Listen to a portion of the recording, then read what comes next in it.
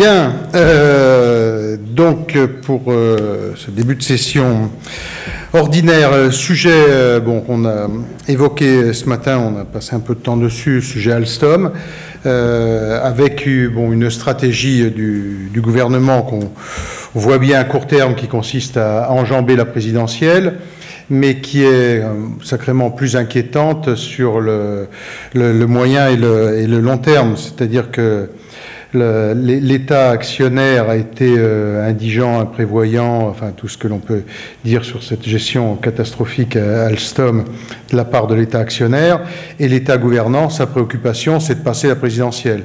L'inquiétude que l'on a aujourd'hui, c'est de se dire que ces 15 rames euh, qui, euh, viennent d'être commandées par l'État, d'ailleurs, et non pas par la, SNCF, euh, est-ce que ne vont pas mettre en difficulté d'autres usines euh, on pense notamment à l'usine de Reichshofen euh, qui, peut être euh, en, difficulté, puisque vous savez que cette usine était en négociation sur l'achat d'une trentaine de, rames. Donc est-ce que les 15 TGV ne vont pas se substituer à cela et qu'en fait on ne fasse que de reporter le, problème avec un, manque de, vision industrielle sur la la, gestion de notre matériel ferroviaire, et d'où euh, bon, l'idée qu'on avait déjà évoquée de, réfléchir à la construction d'un géant européen, même si euh, aujourd'hui sur le, court terme, on est sur d'autres réflexions, mais euh, vraiment grosse inquiétude sur les conséquences sur le site de Reichshofen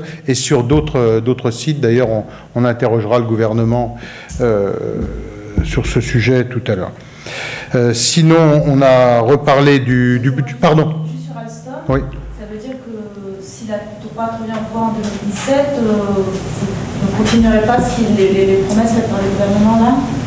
Bah, c'est-à-dire qu'il faut qu'on regarde, on est dans des phénomènes d'annonce, là, bon, dans la précipitation, parce que tout ça mérite un peu plus de, sérieux. On va refaire le point avec nos, collègues parlementaires qui sont sur les, sur les sites concernés, et euh, bon, on le verra à ce moment-là, mais bon, là, là c'est vraiment ne rien faire, se voiler la face pendant quatre ans. Euh, et là réagir en huit jours dans la précipitation euh, en disant on va acheter d'ailleurs des, euh, TGV pour les faire rouler sur, sur des lignes qui sont prévues au, au maximum à 130 km/h. bon, tout, ça n'est pas, sérieux et mérite d'être travaillé au fond. Donc, c'est la raison pour laquelle, moi, je veux qu'on refasse le point il y a en ce moment même une, enfin, elle est peut-être bouclée à cette heure-ci, mais il y avait une réunion avec euh, notre collègue Damien Meslot, qui est euh, maire de, député maire de, Belfort, euh, avec le, ministre Sirug sur, sur place. on a fait le point ce matin avec Frédéric Reiss, qui est concerné, lui, chez lui, avec l'usine de Reichshofen. Donc voilà,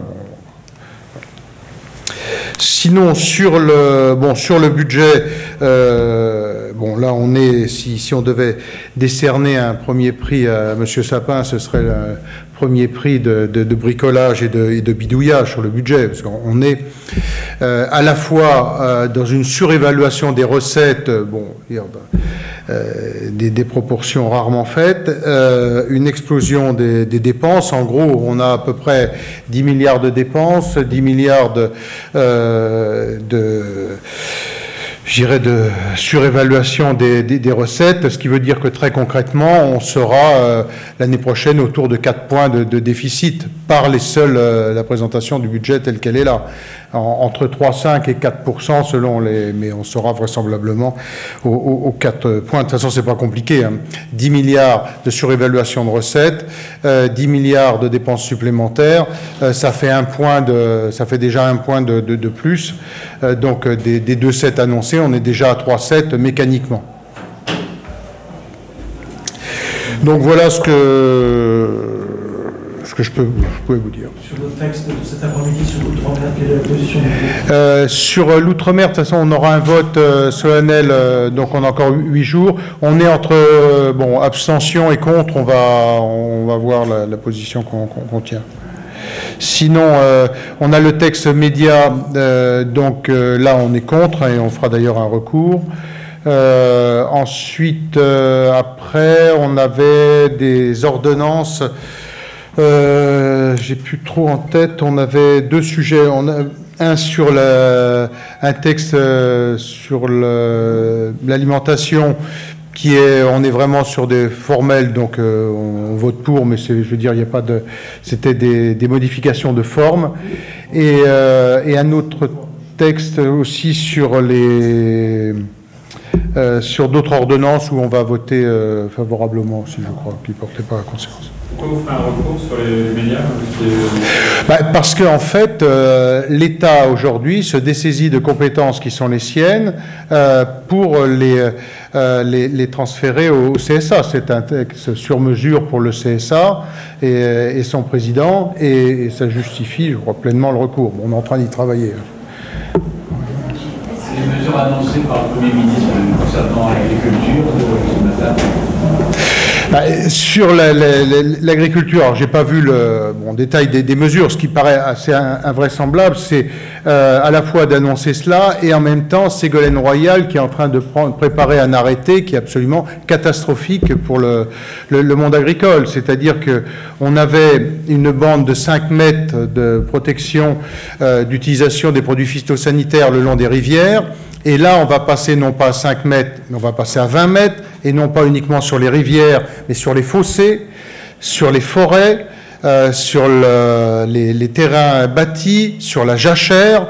Euh, je prends un département euh, comme le, mien, comme celui de, la Seine-et-Marne, ça doit être quelque chose comme 29 000 hectares qui vont être concernés. Enfin, j'ai plus les chiffres exactement en tête, mais c'est invraisemblable parce que vous voyez les conséquences de 20 mètres euh, sur toutes les bordures de champs, le long des forêts, d'ailleurs, on se demande pourquoi, le long des fossés, c'est- Madame Royal, quoi, c'est du grand n'importe quoi. Euh, bon, j'espère que qu'on a encore un ministre de l'Agriculture capable de réagir, bon, j'en suis pas convaincu, mais, j'ose espérer au moins qu'il y ait un, arbitrage là- là-dessus.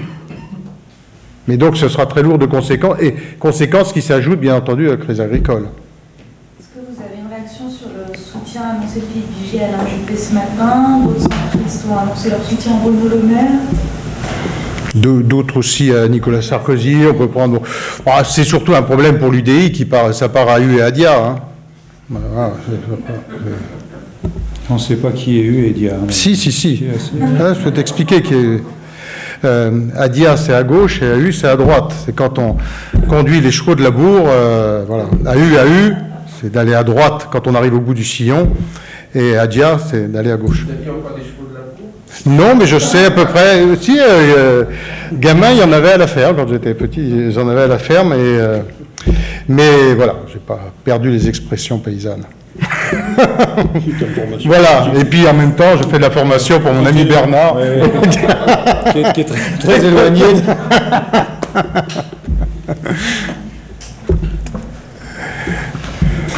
C'est bon?